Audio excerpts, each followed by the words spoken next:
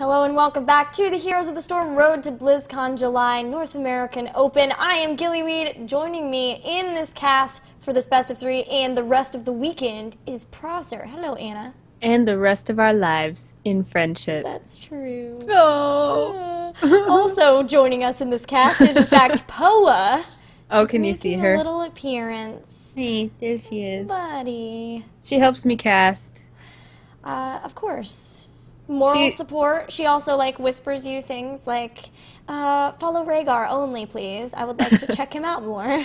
I think it's just selfish. I think she likes to watch the NA Open from the front seat, like, you know, first row view. I think that's really what it is. I mean, who wouldn't? Nah, I would. And, uh, you know, these teams have been great so far. We saw a very fast but very fun first game, game between the PLEYZ and Juan Direction, and they're actually already drafting for the second game. I'm gonna hop over to that. But Anna, would you say that it was both fast and furious? I I would venture to label it such, yes, If only 2Arc were playing, then it would be fast and furious. the puns are real. Yes, they are alive, guys. This is what happens when we've been casting all day. Things get crazy. We're so glad you're here. We are. All right, well, we have started this. It looks like we will be on Battlefield of Eternity. I'm really excited to cast another game on this battleground. It looks like the PLEYZ this time are going to choose to ban Zeratul, so realizing that since their opponents have the first pick, they don't want to give him up. We're also going to see a ban on Kael'thas, so all around damage dealers being taken out here. Yeah, no Kael'thas in play yet today. A lot of Kael'thas banning going on. That's an excellent point you make. Uh, I think a lot of people are nervous about his power spike at level 16. It's such a big one um, as he does pick up that ignite. It starts dealing a lot more damage. But we will still see Jaina. She's been a top pick consistently. She's kind Yeah. of like the new Valla, I think. You're right. Jaina is now, yeah, she's like su- succeeded Jaina or Valla's throne. Is that what you say about a throne? Yeah, I don't know. She stepped up to that that throne. She is now sitting in it. she is. She is, in Yes. fact, sitting in it. yes. One Direction is going to grab Uther, Sylvanas, and Muradin. Uther we've seen in quite a few games today as well. He has a lot of applicability to be kind of a, I'm going to say a, a Sapank. We have Sapassins and Sapanks, and Uther is a Sapank. He can take a lot of hits as a support. So we have kind of a 1.5 tank composition going on from Juan Direction, already a support, and Sylvanas. So we know that they have a lot of push potential, and uh, Sylvanas can do a lot to protect beasties as well, as we mentioned. And so that means when Immortals go pushing in lanes, she can help shut down the structures that can be defending against it and can protect them and keep them alive longer. So that's all a lot of strength on this map. What may be missing for Juan Direction is a little bit of damage. Yeah, we're going to see them want to pick up some more damage. I'm very happy with that ban that they picked up as they are going to ban Azmodan. they saw the PLEYZ show Johanna and they were like, no, no, no, no, no, you can't do that again. But I, I feel like we don't often actually see him too much on this battleground. The lanes are pretty far apart as there's that huge central area. But they made the stacks work on the last one, which the Crystallo, the lanes are still pretty far apart there. So maybe the PLEYZ we're looking at that, they are still going to pick up another specialist. They're going to grab Zagara this time. And I think that's a really great pick versus the Sylvanas that Juan Direction has. Mm, you think because of her pushing potential, she can kind of match blow for blow with Sylvanas, or what are you thinking? Yeah, actually, Sylvanas is. Zagara is one of the heroes that's actually really good versus Sylvanas in lane. Zagara is one of the best 1v1 heroes in the game because she's got that hunter killer. She's just got so much damage. She gets that envenomed spines at four as well, and then her basic damage is attack damage is doing a ton of damage there. So she's just uh, very good at kind of going blow for blow with Sylvanas, kind of keeping her back a bit. And we are going to see an interesting pickup here as we have ETC going to the roster of Juan Direction in addition to the Muradin. That is a bovine face I have not seen in quite some time, Gilly. And I'm interested to see what they're going to be doing with him on this battlefield. It is very large, so keeping that in mind, if he were to use something like Stage Dive, he could be a great asset in terms of being able to stay in lane or merc up or do other things and then still be able to be back in time to help with the immortal stages.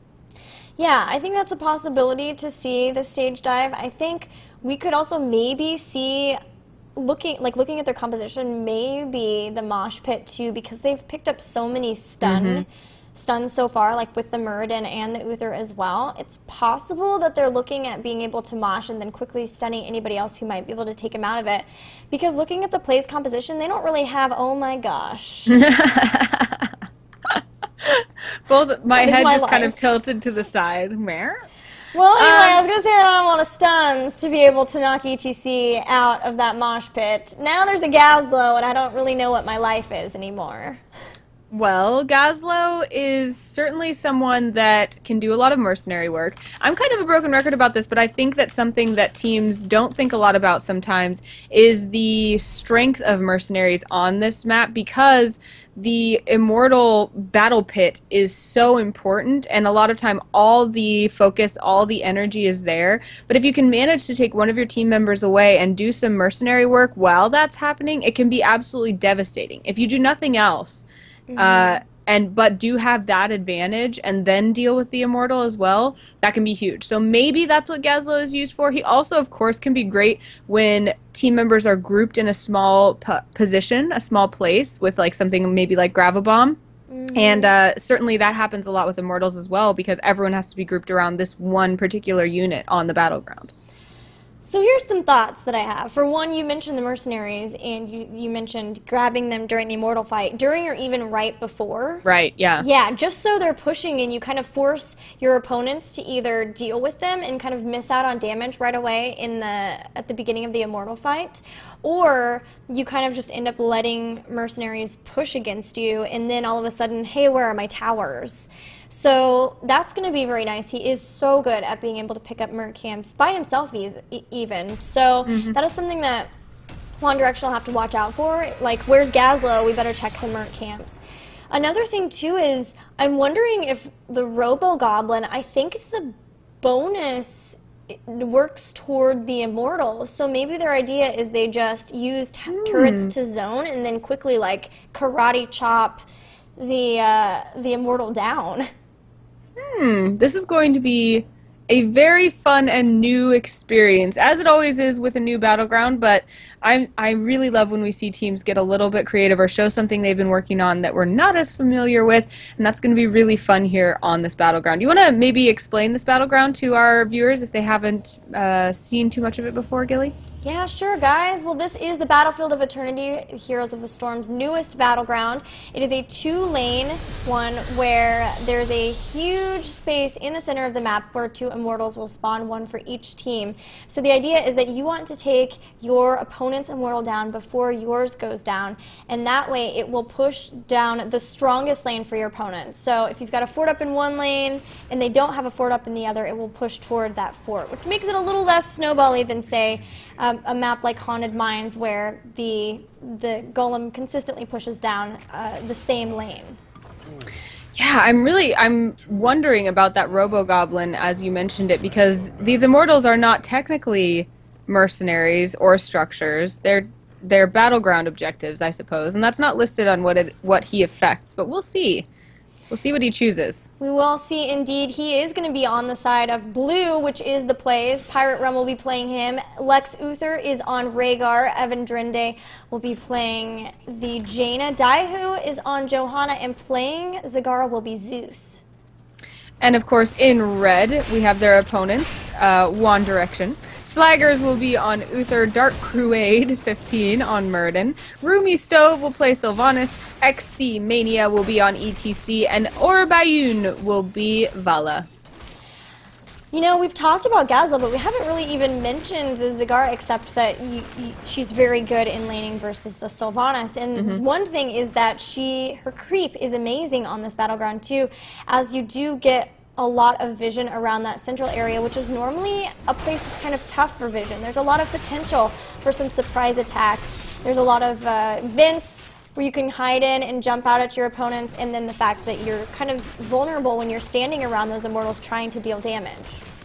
Absolutely. She's going to be able to know when there's rotations happening on the map, and th- those rotations take a long time here. There's a huge area in the middle of this map that is not technically a lane. As we mentioned the last time, there is a uh, gate here in the middle of the map on either side, but it is not protected by the same uh, turrets or the same fort as a normal lane would be. Yeah, and we mentioned the creep providing vision, and it did just indeed the PLEYZ were able to see that Muradin was trying to come down for a gank, but not able to do so. And we do have the first Immortals spawning. The first Immortal phase can take a while because there's a lot of sustained fights. People are coming back very quickly thanks to respawn timers. And look at this, we've got Gazlowe setting up turrets around as uh, he's trying to use those to protect his Immortal from taking damage from Juan Direction. Interesting. I thought we might see those turrets being used uh, offensively, but certainly defensively is a great idea, and it is helping to protect that Immortal that is now receiving some attention from the PLEYZ.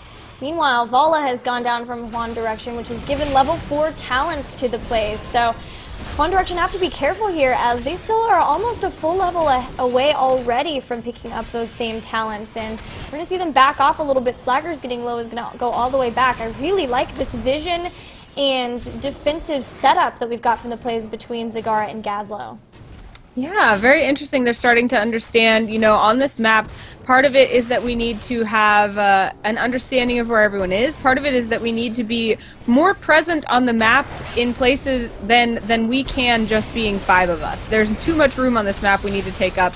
And right now they are sharing that room with their opponents. It looks like the PLEYZ are going to have to back off a little bit from Beleth. They were trying to get a few shots on him have to back up and are going to uh, fall back and look for other advantages, looks like. The PLEYZ constantly have somebody pushing in top. For a while it was Zagara, now it's going to be Gazlowe since he set up his turrets, kind of did what he needed to do.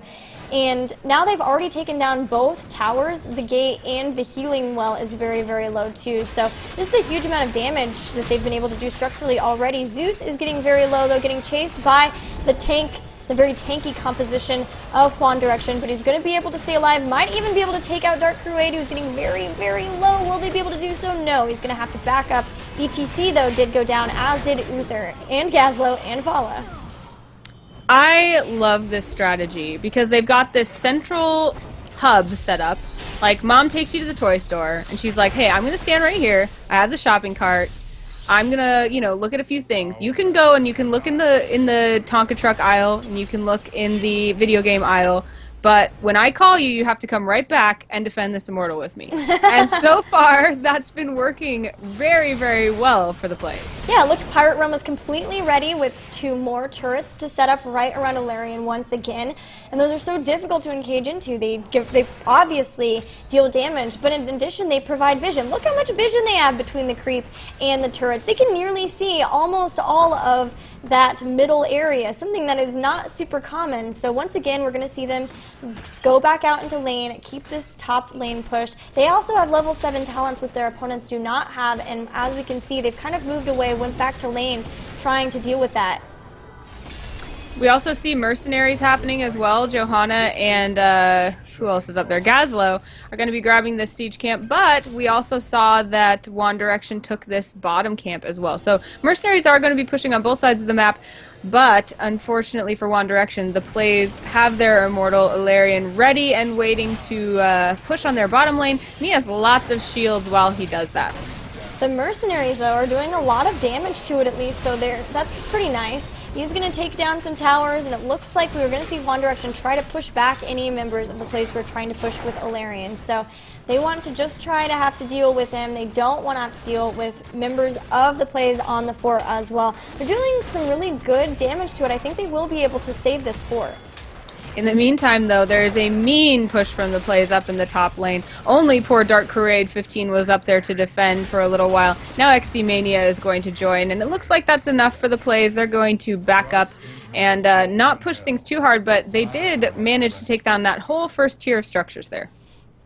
Yeah, the PLEYZ have been got to be feeling great. They've nearly taken out the bottom four. A rotation after they've taken out one of the heroes from Juan Direction would definitely take it out completely. And they've got one fort down on top as well. So they've nearly taken out all of the tier one structures, or even being so bold as to take out the mercenaries on the side of One Direction. so really great play here, aggressive. Once again, the zoning turrets really doing some serious work.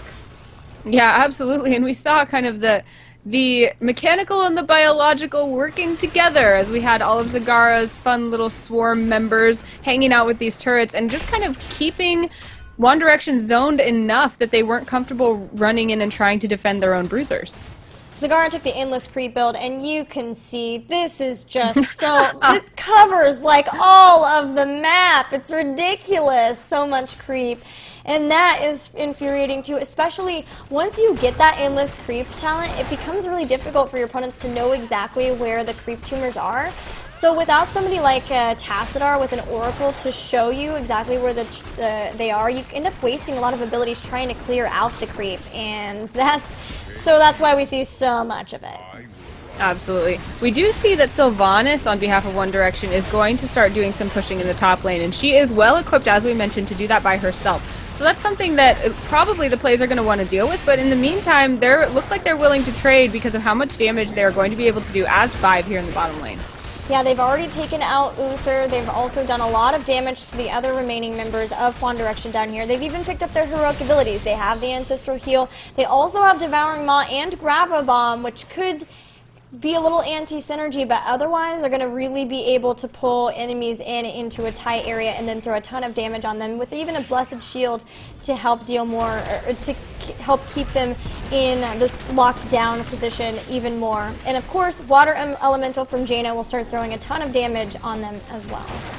Looks like the play's feeling very confident they don't even take the time to set up that base of operations around Ilarion and instead just go to do some damage to Beleth as they wait for Juan Direction to respond. Now that Juan Direction has arrived, looks like they will fall back and they're looking to protect their angelic immortal. Yeah, they really need to pick up their level 10 heroic abilities. There they are. So now this is a good place that we could see Juan Direction try to engage in. They need to really be careful about that Grav-O-Bomb because it can be a huge problem, but honestly, if they get into a Devouring Maw and then a Grabbing Bomb, it's going to be horrible. Divine Storm is going to go down. It almost takes down Zagara, but Ancestral Heal will keep her up. Meanwhile, Mosh Pit's going to stun several members of the PLEYZ, though, but it will not take them out. And meanwhile, while the battle between the Immortals is going on above them, we're seeing Uther and Valla taken out. Uh, uh, a, a Muradin is going to follow from that, and we should see Sylvanas go down as well as Beleth. So that was an interesting engagement because we did see the level 10 heroic abilities happen for Juan Direction. Do you think they just didn't have time to really get their heroics in order? Or Do you think they were in a bad position? Or do you think the fact that there's still a two level disparity gave the PLEYZ still enough of an advantage to really just have a strong showing in that fight? So they had the Divine Shield and then, or Divine Storm, and then went in with the Mosh Pit. But I think part of the issue is they're really concerned about all getting caught in something like a Grav-O-Bomb. So I don't know if maybe they just weren't quite on top of the mosh pit, but they didn't get anyone taken out from it, which I think is the big thing, right? Like the whole idea is that you can like divine storm into mosh pit or vice versa, and if you get enough heroes in there, then you've got uh, you've got the avatar to jump in and keep stunning. You've got strafe and wailing arrow to jump on top of it. Both teams are kind of wombo focused. It's just that the one from the PLEYZ seemed to work out better in that situation. Absolutely. This Immortal, which was almost, if not completely, full shielded after this Immortal phase, does, makes quick work of this wall and the towers. He's going to go in for this fort. Dark Crusade getting very low, but still his tanky self is going to go in. Looks like we have a Devouring Maw go down, but it doesn't manage to grab anybody. That's unfortunate. Though the plays are getting fairly low, we may see them back off soon if the uh, if Juan Direction doesn't do so first. Yeah, Evan Trenton was actually having some connection issues that caused him to go a little bit too far forward and got taken out because of it. Now Zeus might have some issues here with this ETC who's trying to push her around, but Zagara will be able to get out. Another thing I forgot uh, that happened in the last fight too that might be part of the issue is they almost had Zagara down, which would have really been an important part of the battle. But the ancestral healing was so clutch on Zeus that Juan Direction then had to focus on somebody else, so they didn't quite take somebody down fully. That makes a lot of sense. We do see that now the siege camp at the top will go to the PLEYZ. They are showing us the same kind of play that they did in the last game, which is to make sure to, to show no hesitation between actions on the map. They had no hesitation going for this bottom siege camp, but it looks like XC and Dark Crusade were looking to contest ETC getting very low and will be chased out by Jaina coming in to help Zeus and Lex who were already down there the water elemental gets uh, a little bit of use and will tag after Jaina like a little puppy, although he's not going to do too much more. That does mean there will be a cooldown on her heroic. Yeah, I'm wondering if Drinde dropped that or if that might have been the bot, but either way it did help in securing that takedown at ETC, and a great Blessed Shield is going to make sure they get Uther as well. Now they are moving toward the final remaining keep for Juan Direction, and with uh, ET Sylvanas, who was pushing, she's going to come back as uh, they don't even have level 13 quite yet. So this is a bit of an issue as the keep is going to further the experience lead for the PLEYZ. It looks like XC Mania trying so hard maybe to just get away at this point, won't be able to do so. Maybe leading the team away from the rest of his, uh, his opponent or his teammates. But the, we have the Immortal spawning in 10 seconds, Anna. We did have Juan Direction also hit 13 in the meantime, but very shortly after that, the PLEYZ got their level 16, which may be even more of a big bump. And uh, the experience lead just is staying solidly in their favor. They did go ahead and trade a lot of damage to happen to this top lane while they were doing that, but they still have a fourth there, and uh, they they have not lost any, or have they? Have they lost any forts? Yes. So we have zero structures left for poor Juan Direction, and they're looking at another situation like in games previous where they don't have a lot of options in terms of quick, sneaky backdoor moves. They're just solidly needing to make good engagements and take good advantage of these battleground objectives right now. Well, there goes the mosh pit. It only catches Gazlowe, who is being taken down, but Ancestral Heal is going to bring him right back up. And in the meantime, Valla goes down thanks to the great burst from Jaina. And now Muradin is down as well. It's in fact everyone but ETC is down. We already see a GG. We're going to see not even focusing on the Immortals as the PLEYZ are going to head straight for core. They've got 15 seconds to make something happen here before any other members are up besides ETC. They're going straight after it. Will they be able to take it down in time? It looks like everyone believes so as we're seeing the GGs from both teams. And lots of good manner from Juan Direction saying, I had fun, guys. That's what we like to see. Was a very fun game. This one, though, ending at about 14 minutes, the previous one at 10 minutes. So we are seeing the dominance that we've seen out of the PLEYZ. A team that we know we will need to watch as we move forward in this series. They take this best of 3 2 0. Yeah, great job overall by the PLEYZ. Loving that Gazlowe play. That was pretty cool to see. And the push potential from them, I mean, I have to go back to when they took down that top, those top structures during that force first Immortal fight, they had those towers and the gate down and were starting to put damage on the fort even before the Immortals were down. And that meant that, first of all, they could kind of control where the Immortal went, right? Like the Immortal was going to go bottom that way because they had done so much damage. So then they already had its, the top softened up, the Immortal went down, took out towers, and then from there, both of the forts were vulnerable, and we just saw these constant rotations that enabled the PLEYZ to get ahead in structures and experience and just really stay there. Yeah, my favorite style on this map is the one that is multi-pronged and you're, where you're taking advantage of all the different activities you can do on this map in order to gain advantages. And that is mercenaries, that is lanes, that is hiding, that is getting ganks, that is especially paying attention to your immortals. And I think that the PLEYZ did a really, really great job of that multitasking that this this battleground does allow. And I'm looking forward to seeing more of it. Yeah, I am as well. I think that the PLEYZ have such a good understanding of compositions that work well on different battlegrounds. It's evidenced by the fact that they just pulled out this Gazlowe Zagara. Mm-hmm. You never have to worry about somebody stealing the Gazlowe, okay? That's just not something you have to worry about in a competitive game like this. So that was a really cool clutch final pickup from them that by that point, I mean, what do you, the, I don't think, uh, I think the, the draft for their opponents was already done. So even if they could possibly pick up something to respond to that, it just wasn't in the cards. So really well drafted by the PLEYZ, mm-hmm. well played by them as well. Yeah, I think that I mean this is kind of a, le- a, something of lesser importance, but I noticed that having Zagara and Gazlowe together adds to the overall visual chaos of the game quite a bit, and especially during the immortal phases where you have so much going on on the screen, it can be easy to lose track of where the danger is in an engagement and where the advantages are in an engagement. And I think that the PLEYZ are very comfortable with that kind of chaos, and they really showed us how they can use it to their advantage.